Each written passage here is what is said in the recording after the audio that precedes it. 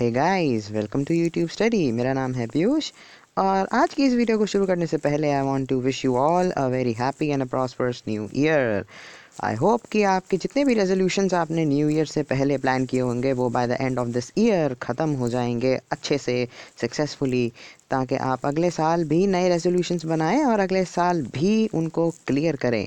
देखिए, हर एक इंसान को अपना एम ज़रूर तय करना चाहिए, इसलिए एक बेटर ऑप्शन होता है कि by the end of the year आप अगले साल के कुछ रेजोल्यूशंस बनाएँ और रेजोल्यूशंस आपकी बातों तक नहीं रहने चाहिए या फिर अपने, अगर आप लिख रहे हैं तो आपके पेपर तक नहीं रहने चाहिए, उनको इम्प्लीमेंट करना भी बहुत ज़रूरी है।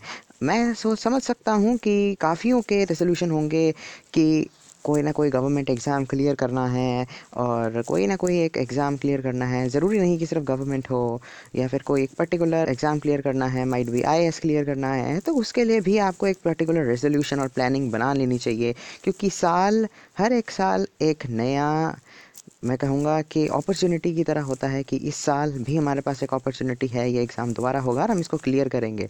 तो प्रॉपर प्लानिंग और इम्प्लीमेंटेशन से ही बात बनती है।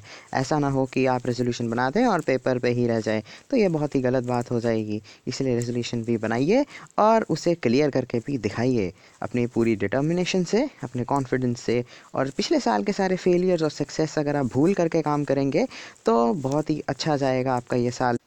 I am sure you will succeed so अब हम शुरू करते हैं अपनी वीडियो को। देखिए, इस वीडियो में मैंने डिस्कस किया है about important bills and acts of 2017 जिसको मैंने दो पार्ट्स में बांटा है। पहला पार्ट तो ये है और सेकंड पार्ट भी मैं अपलोड कर दूँगा। इस बिल्स और एक्ट्स का जो इम्पोर्टेंस है, वो ये है कि काफ़ी ज़्यादा प्रोबेबिलिटी है इनकी 2018 में गवर्नमेंट एग्ज़ाम्स में आने की। और पिछले साल जैसे कि आपने देखा है, बहुत से केसेस हुए हैं, जैसे ट्रिपल तलाक का केस हुआ है प्राइवेसी का भी केस हुआ है और ऐसी केसेस की वजह से एक बहुत ही मेजर इम्पैक्ट आना था इस बार विंटर सेशन में, जो कि आया भी है और काफ़ी बिल्स नए आए हैं 2017 में। तो आइए देख लेते हैं कि कौन से इंपॉर्टेंट बिल्स हैं जो ज़रूरी हैं हमको जानने 2018 के किसी भी एग्ज़ाम को अटैम्प्ट करने से पहले। तो सबसे पहले अगर मैं शुरू करूँ इस वीडियो को, सबसे पहले आपको ये जानना बहुत ज़रूरी है कि एक बिल क्या होता है। देखिए, बिल्स एक पर्टिकुलरली लॉ का पर्चा चिट्ठा होता है, जो लॉ आपके कंट्री में अब आने वाला है, उसका पर्चा चिट्ठा एक बिल के अंदर होता है। बिल बेसिकली इंट्रोड्यूस किया जाता है एक किसी भी एक हाउस में, या तो वो राज्यसभा हो सकता है, या वो लोकसभा हो सकता है।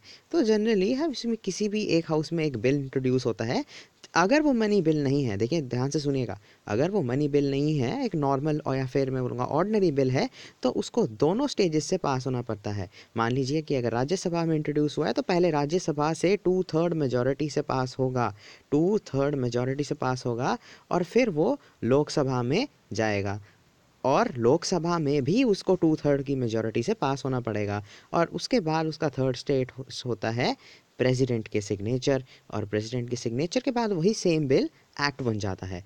ये एक नॉर्मली बिल की साइकिल है। बट अगर मैं मनी बिल की बात करूँ तो उसमें राज्यसभा में पहली बात तो ओरिजिनेट नहीं हो सकता। सेकेंडली ये होता है कि उसमें सिर्फ़ और सिर्फ़ लोकसभा को ही राइट होता है पूरा पूरा कि वो इसको टू थर्ड की मेजोरिटी से पास करके डायरेक्ट प्रेसिडेंट को भेज दे। बट वैसे ऐसा नहीं होता है। जनरली उसको रेफरेंस के लिए राज्यसभा में भेजा जाता है, जिसका जो मैं बोलूँगा कि एडवाइस होता है, वो लोकसभा पे बाइंडिंग नहीं होता है। राज्यसभा सिर्फ़ एक मनी बिल को 14 डेज़ तक होल्ड कर सकता है और होल्ड करने के बाद वो अपने सजेशंस ज़रूर दे सकता है, पर suggestions are not at all binding on Lok Sabha. और इसीलिए लोकसभा की मर्ज़ी है वो सजेशंस ले ना ले, वो सीधा प्रेसिडेंट को साइन के लिए भी भेज सकता है, जिसके बाद वो एक एक्ट बन जाता है। तो ये सब जानना काफ़ी ज़रूरी था। किसी भी बिल के बारे में पढ़ने से पहले आपको ये पता होना चाहिए कि वो बिल कौन सी साइकिल से जाता है। चलिए आगे चलते हैं। तो हमारा आता है सबसे पहला और most important bill the fugitive economic offenders bill of 2017 जिसमें फिगेटिव इकोनॉमिक ऑफेंडर्स की डेफिनेशन दी गई है। ऐसा कोई लॉ पहले नहीं था जिसमें कोई भी फिगेटिव इकोनॉमिक ऑफेंडर की डेफिनेशन दी हो, इसलिए इसकी ज़रूरत पड़ गई। अगर पहले होता तो शायद जो माल्या वाला केस अभी बहुत ज़्यादा पॉपुलर हुआ है, वो भी ना होता। देखिए, मैं समझाता हूँ ये एक्चुअली है क्या। पहले तो ये समझ लीजिए कि सितंबर 19 को ये लॉ मिनिस्ट्री द्वारा अप्रूव हुआ था और इसमें बेसिकली ये इसीलिए बना था क्योंकि जो फिगेटिव ऑफेंडर्स होते हैं फिगेटिव मतलब भगोड़े, यानी कि जो कंट्री छोड़ के भाग जाते हैं फिगेटिव इकोनॉमिक ऑफेंडर्स होते हैं, वो ऐसी ऑफेंसेस को रोकने के लिए, ऐसे ऑफेंसेस को टैकल करने के लिए ये लॉ बनना बहुत ज़रूरी था। इसमें क्या था कि बेसिकली ये कोई भी इंडिविजुअल जो इकोनॉमिक ऑफेंस कर रखा हो जिसने मतलब जिसके थ्रू जैसे मैं ये कह सकता हूँ कि मान लीजिए मैंने एक लोन लिया है कहीं से तो मैं, अगर मैं उसको रिटर्न नहीं कर रहा, मैंने लोन को लिया हुआ है, मैं उसकी कोई भी किस्त नहीं चुका रहा और मैं आराम से बैठा हूँ तो मैं एक इकोनॉमिक ऑफेंस का पार्ट बन जाऊँगा कि मैंने किसी से पैसे लिए हैं और मैं उसको वो पैसे नहीं लौटा रहा। तो अगर मैं एक इकोनॉमिक ऑफेंडर हूँ और मैं क्या करता हूँ कंट्री को छोड़ देता हूँ कंट्री को छोड़ देता हूँ और मैं भाग जाता हूँ और मैं कंट्री के अंदर दोबारा नहीं आता तो फिर मुझे फिगेटिव इकोनॉमिक उसी के नाम से मान, जाना जाएगा। तो मतलब क्या हो गया? मैं एक क्रिमिनल एक क्रिमिनल हूँ और मुझ पर क्रिमिनल प्रोसिक्यूशन होनी चाहिए। ये बेसिकली बिल उन फ्यूगेटिव ऑफेंडर्स की बात करता है जिन्होंने इकोनॉमिक ऑफेंस किया हो, सौ करोड़ या उससे ऊपर का। जिसके अंडर फाइनेंशियल इंटेलिजेंस यूनिट नाम की एक स्टेचुटरी बॉडी बनती है, जो कि इस सारे के सारे केस को स्टडी करती है और अपॉइंट करती है कुछ एडमिनिस्ट्रेटर्स को, जिनका काम होता है प्रॉपर्टी डिस्पोज ऑफ़ करना। देखिए सीधी सी बात है, अगर ऑब्वियसली अगर मैंने लोन लिया है तो मैंने कोई ना कोई प्रॉपर्टी ज़रूर गिरवी रखी होगी। कोई भी बैंक या कोई भी फाइनेंसिंग कंपनी मुझे ऐसे लोन नहीं देगी जब तक कि मैं कुछ अपना कीमती गिरवी नहीं रखता। तो इसलिए ये काम होता है फाइनेंशियल इंटेलिजेंस यूनिट का इस बिल के अंदर कि वो उस एसेट्स को बेचे। बेसिकली मैं बोलूँगा कि वो एडमिनिस्ट्रेटर को अपॉइंट करे जो कि फर्दर उन एसेट्स को बेचेगा और पैसों की रिकवरी में हेल्प करेगा। रादर दैन दैट इसके अंदर जितने भी केसेस होंगे कोर्ट्स के अंदर तो चलेंगे, वो एक बिल पे चलेंगे, एक एक्ट पे चलेंगे सॉरी जिसका नाम है prevention of money laundering act 2002 जिसको हम पीएमएलए भी बोलते हैं। तो केस तो इस पे चलते हैं, पर जो रिकवरी का प्रोसेस होता है, यानी कि जो डेप्ट रिकवरी प्रोसेस होता है, वो बेसिकली तीन एक्ट के बेसिस पे अब चलेगा इसमें। सबसे पहला होगा recovery dept due to banks and financial institution act जिसको हम रेड बेई एक्ट भी बोलते हैं। दूसरा होगा the very popular SARFAESI act of 2002 और तीसरा होगा insolvency and bankruptcy code of 2016 इन तीनों एक्ट्स के साथ साथ हमको इन तीनों एक्ट्स को साथ में लेकर चलना पड़ेगा। अगर मैंने रिकवरी ऑफ़ डेप्ट करनी है तो आपको ये समझा दूँ कि रेड बेई एक्ट यानी कि R D D B E I act जो होता है, उसमें एक बैंक को अलाउड होता है कि बैंक किसी भी प्रॉपर्टी या किसी भी एसेट को उस इकोनॉमिक ऑफेंडर के, मैं बोलूँगा कि बोली पे लगा सकता है, उस पर उसको बेच सकता है। सेकंड होता है सरफेसी एक्ट जिसके अंदर के ट्रिब्यूनल्स बना दिए गए हैं, जैसे कि डेप रिकवरी ट्रिब्यूनल डीआरटी और एनसीएलटी यानी कि नेशनल कंपनी लॉ ट्रिब्यूनल जो हैंडल करेंगे डेप्ट रिकवरी प्रोसेस को। और तीसरा है इंसॉल्वेंसी एंड बैंक कोड जो मैंने पार्ट टू में कवर किया है तो मैं वो तब बताऊँगा। नेक्स्ट है the Indian institution of management bill 2017 ये पास हुआ है लोकसभा से 2017 28 जुलाई को और राज्यसभा से अभी रिसेंटली 19 दिसंबर को पास हुआ है। ये बिल की इम्पोर्टेंस ये है कि आईआईएम को रिसर्च वर्क और आगे बढ़ने का जो एक पुश है, वो दिया है इस बिल ने और सबसे बड़ा चेंज तो लाया है, वो ये है कि अगर आपको थोड़ा पता हो तो आईआईएम अभी तक सिर्फ़ और सिर्फ़ डिप्लोमास इशू करता था डिग्री इशू नहीं करता था। बट इस बिल के एक्ट बनने के बाद ये पावर होगी आईआईएम के पास कि वो स्टूडेंट्स को डिग्री इशू करे, सिर्फ़ डिग्री ही इशू नहीं करेगा। उसके साथ साथ इसके पास इतनी एबिलिटी होगी कि ये रिसर्च वर्क में जाएगा। इसने काफ़ी सारे बेसिकली देखे रिसेंटली आईआईएम ने काफ़ी सारे स्टैटिकल वर्क्स किए हैं। दिल्ली में भी इसने काफ़ी सारे स्टैटिकल वर्क्स किए हैं। जिसके बाद इनको काफ़ी ज़्यादा रिकॉग्नाइज किया गया है गवर्नमेंट के द्वारा और इसीलिए इनको ये चीज़, ये पहचानी गई है कि ऐसे इंस्टीट्यूशंस में काफ़ी ज़्यादा एबिलिटी है कि वो रिसर्च वर्क कर सके। इसलिए इस बिल को जनरली इंट्रोड्यूस किया गया है और इन आईआईएम्स को ज़्यादा प्रमोट और ज़्यादा, मैं बोलूँगा इंडिपेंडेंस और एबिलिटी देने के लिए इसकी पावर को काफ़ी बढ़ा दिया गया है। और वो बढ़ाया कैसे है? जो भी ये, जितने भी ये रिसर्च वर्क करेंगे, ये सारा का सारा रिसर्च वर्क आपका पब्लिक डोमेन के अंदर जाएगा। देखिए पब्लिक डोमेन होता है, यानी कि पब्लिक वेबसाइट पे इशू होगा, जहाँ पे पब्लिक का रिव्यू लिया जाएगा कि कैसे हैं ये रिज़ल्ट्स और पब्लिक क्या सोचती है इन रिज़ल्ट्स के बारे में। और उसके साथ साथ जितनी भी एनुअल रिपोर्ट होएगी, वो पार्लियामेंट में भी शो की जाएगी। ये इंपॉर्टेंट पॉइंट है कि ये पार्लियामेंट में भी शो की जाएगी। इसी के साथ साथ इसका जो ऑडिटिंग प्रोसेस होगा, वो कैग यानी कि controller auditor general of India करेगा। इसमें एक एडवाइजरी बॉडी भी बनेगी, जो जनरली सेलेक्ट करेगी चेयरपर्सन और डायरेक्टर को आईआईएम के। तो ये भी काफ़ी इंपॉर्टेंट बिल बन जाता है इसी के साथ साथ the collection of statistics amendment bill 2017 जो पास हुआ ट्वेंटी सिक्स जुलाई 1917 से, ये पूरा का पूरा पास हो चुका है। इस टाइम में जो पार्लियामेंट है, उसको ये पास कर चुके हैं। इसीलिए अब ये आगे के प्रोसेस में गया हुआ है।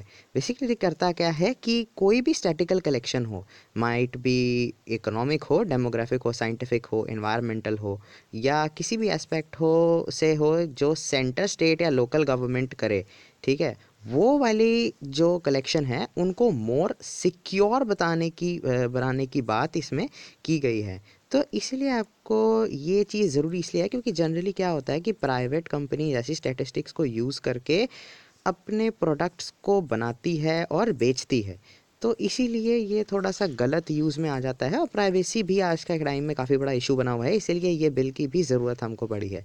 इसमें एक सिक्योर बाउंडेशन है कि कहाँ तक, किस लिमिट तक आप उस स्टेटिकल इंफॉर्मेशन को यूज़ कर सकते हैं, जिसकी रिस्पॉन्सिबिलिटी होगी एक नोडल ऑफिसर की। नोडल ऑफिसर क्या करेगा? नोडल ऑफिसर करेगा, उसका एक फ़ंक्शन होगा। देखिए नोडल ऑफिसर का मतलब क्या होता है? नोडल ऑफिसर मतलब ये होता है कि एक ऐसा ऑफिसर जो एक पर्टिकुलर टास्क के लिए असाइन किया हो। और उसका काम होगा कोऑर्डिनेट करना और सुपरवाइज करना कि जितनी भी स्टैटिकल एक्टिविटीज़ हो रही हैं, वो गवर्नमेंट तक ही यूटिलाइजेशन में जाए, आगे की यूटिलाइजेशन उसमें ना हो और एक ज़्यादा सिक्योर जो है हमारी स्टैटिस्टिकल इंफॉर्मेशन रहे।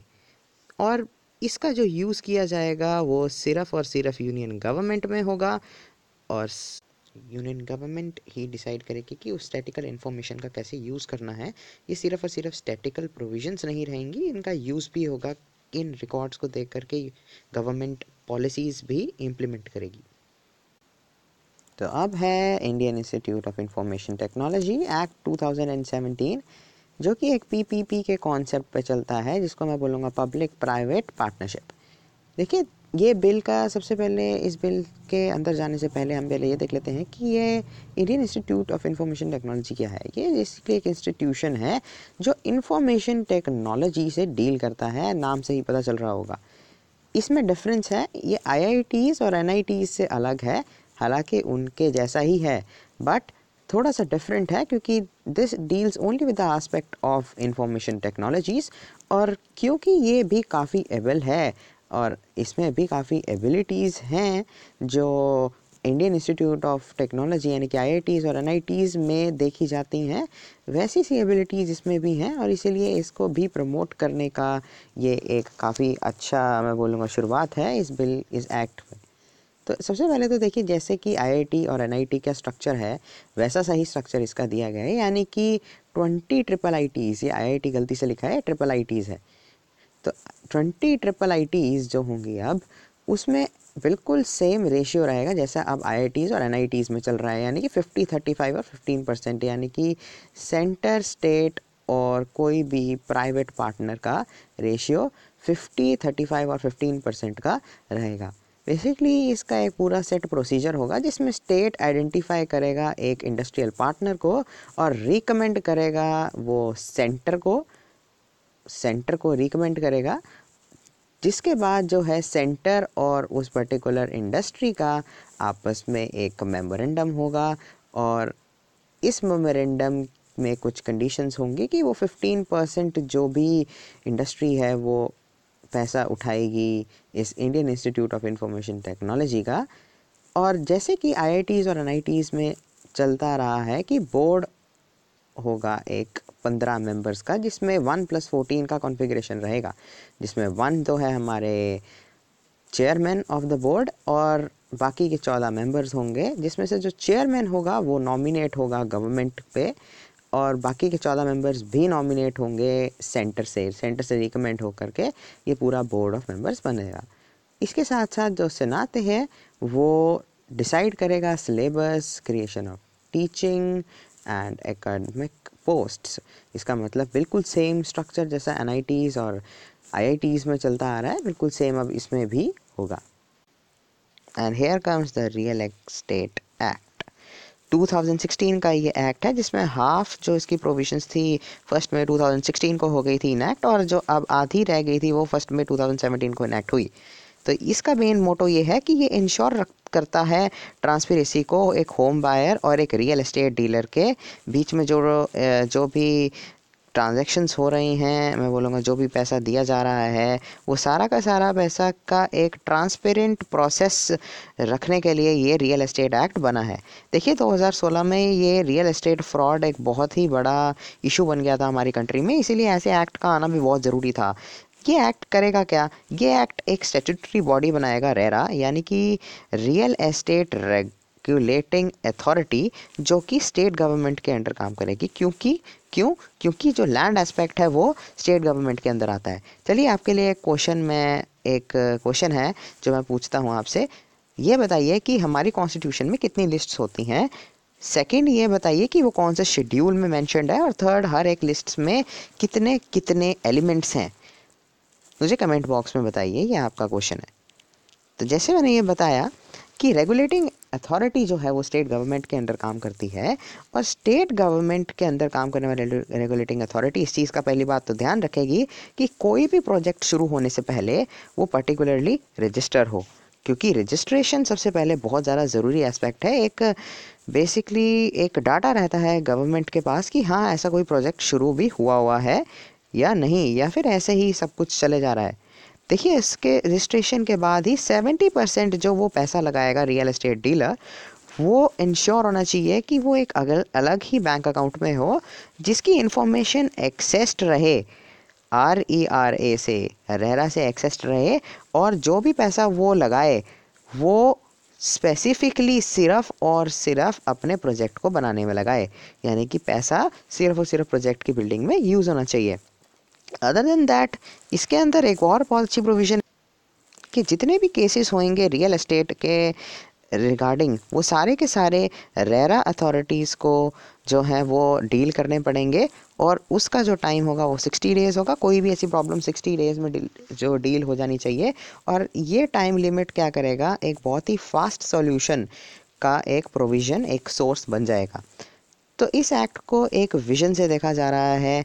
हाउसिंग फॉर ऑल के विजन से देखा जा रहा है, जो कि स्मार्ट सिटी का एक एस्पेक्ट है। बाय 2020 हाउसिंग फॉर ऑल जो एस्पेक्ट है, वो एक सक्सेस एज अ सक्सेस जिसको बोलूँगा कि एक स्टेपिंग स्टोन है for success of this vision of smart city ये एक स्टेपिंग स्टोन है। तो देखिए, बताइए ज़रा कि कितनी स्मार्ट सिटीज़ जो है, इनका जो नंबर है ये एन ये बताइए कि कितनी स्मार्ट सिटीज़ का इनिशिएशन लिया गया था? बाय 2020 कितनी स्मार्ट सिटीज़ बनेगी? ये क्वेश्चन एक और बन गया आपका। बताइए कमेंट बॉक्स में। Here comes the Muslim women protection of rights on marriage bill 2017 ये एक्ट है एक एक्शन हमारे सुप्रीम कोर्ट के अगस्त डिसीज़न का, जो कि था कि तलाक बेदत, यानी कि तीन बार तलाक बोलना अब कोई भी डाइवोर्स नहीं माना जाएगा। सुप्रीम कोर्ट ने ऐसा कहा था। मुस्लिम लॉ के अनुसार जो भी हस्बैंड होता है, अगर उसने तीन बार तलाक बोल दिया है अपनी वाइफ को तो उसको डाइवोर्स माना जाता था। और ये काफ़ी सी, ये जो चीज़ें थी, वो काफ़ी मुस्लिम कंट्रीज़ में बैन ऑलरेडी कर दी जा चुकी हैं और इस पर ऑलरेडी लॉज बन चुके हैं। पर काफ़ी टाइम से इंडिया में ये प्रैक्टिस हो रहा था, इसीलिए उसका लॉ बनना भी बहुत ज़रूरी था। इसी के काउंटर में ये एक बिल आया है, जो कि हमारे लॉ मिनिस्टर ने ही इंट्रोड्यूस किया था पार्लियामेंट में मिस्टर रविशंकर प्रसाद और ट्वेंटी दिसंबर को ये लोकसभा से पास भी हो चुका है, लेकिन it's now also pending in Rajya Sabha. ये बिल करता क्या है? बिल बेसिकली बना है हमारे जो मैरिड मुस्लिम वेमेंस हैं, उनकी राइट को प्रोटेक्ट करने के लिए ये बिल बना है और इसके साथ साथ ये प्रोहिबिट करता है उनके हस्बैंड को तलाक बिदत करने से। उसके साथ साथ इसमें एक और प्रोविज़न ये है कि जो भी ये तलाक बिदत की प्रैक्टिस जो है इम्प्लीमेंट करेगा, उसको तीन साल की सज़ा के साथ साथ उसको क्या करना पड़ेगा? उसको एक फ़ाइन भी पे करना पड़ेगा। और ये जो सज़ा होगी तीन साल की, वो नॉन बेलेबल होगी और उसके साथ साथ कॉर्गनाइजेबल होगी, यानी कि विद इन डिस्ट्रिक्शन ये जो सज़ा है वो रहेगी। इसके साथ साथ एक और प्रोविज़न जो ये थी कि अगर उनका कोई चाइल्ड है, कोई माइनर चाइल्ड है तो माइनर चाइल्ड जो भी होगा वो वाइफ की कस्टडी में रहेगा और हस्बैंड की ड्यूटी बनेगी कि वो हमारा जितना भी उसका पैसा बनता है, जितना भी उसका अलाउंस है, वो हस्बैंड को देना पड़ेगा। इस, देखिए, बिल में एक बहुत ही ज़्यादा कंट्रोवर्सी इसीलिए है, इसको राज्यसभा में पास करना इस टाइम में काफ़ी ज़्यादा मुश्किल हो रखा है because there is a demand from opposition कि आप इसको सेलेक्ट कमेटी में भेजें। देखिए, इसका काफ़ी क्रिटिसिजन इसलिए भी हो रहा है क्योंकि आप एक साइड ये बिल ला रहे हो, सुप्रीम कोर्ट के डिसीज़न पे कि जो भी डाइवोर्स होगा, वो तलाक बिद्दत में डाइवोर्स नहीं माना जाएगा। And in this bill, you are actually providing what? You are actually providing a condition of post divorce यानी कि एक तो साइड आप बात कर रहे हो सर कि हाँ डाइवोर्स ये माना नहीं जाएगा। और उसी साइड पे आप ये बोल रहे हो कि पोस्ट डाइवोर्स कंडीशंस क्या होंगी। तो ये तो भैया गलत है। ये तो that's that is not a way to introduce such bill कि आप इसका मोटो ही ख़त्म कर रहे हो आप पोस्ट डाइवोर्स की कंडीशंस डाल रहे हो। सो so, इसीलिए ये बिल इस टाइम में काफ़ी ज़्यादा कंट्रोवर्सी में है। इसी के साथ साथ काफ़ी अच्छे अच्छे एग्जांपल्स भी हैं इसमें जो इंडिया ले सकता है। जैसे पाकिस्तान का बिल भी काफ़ी बढ़िया है जिसमें अलग से एक स्टेटूटरी बॉडी बनाई गई है ऐसे तरह के डाइवोर्स को डील करने के लिए। बट एनी देखते हैं इसमें सिलेक्ट कमेटी का क्या डिसीज़न रहता है। अगर ये जाता है तो। ये तो आगे आने वाला टाइम ही बताएगा बट रिसेंटली ये है सब कुछ इस बिल के बारे में। So, guys, thank you for watching my video. Please like, subscribe and share. क्योंकि देखिए नॉलेज है और नॉलेज बांटने से ही बढ़ती है, इसीलिए आपको इसको बांटना चाहिए। और लाइक कीजिए अगर आपको ये वीडियो पसंद आई और ऑब्वियसली डिसलाइक कीजिए अगर नहीं पसंद आई। एंड एज आई से कि फीडबैक्स आर ऑलवेज वेलकम इसलिए कोई भी कमी या गिला शिकवा आपको इस वीडियो में लगा हो तो प्लीज़ कमेंट बॉक्स में पोस्ट कीजिए। एंड आई होप जो मैंने आज के क्वेश्चंस पूछे थे, वो भी आप एक्टिव पार्टिसिपेशन करके उसका भी आप आंसर कीजिए। सब्सक्राइब करना ना भूलिए, क्योंकि अब आने वाले टाइम में मेरे को मोटिवेशन आपसे चाहिए होगी अपनी दूसरी वीडियोस को डालने के लिए। Rather than that I am deciding to introduce you with a series of polity history and geography जो कि हेल्प करेगी आपको कमिंग गवर्नमेंट एग्ज़ाम्स में। एंड आई होप कि आप मुझे मोटिवेट करो और आपको ये वीडियो ज़रूर पसंद आए। So thank you for watching my video Goodbye.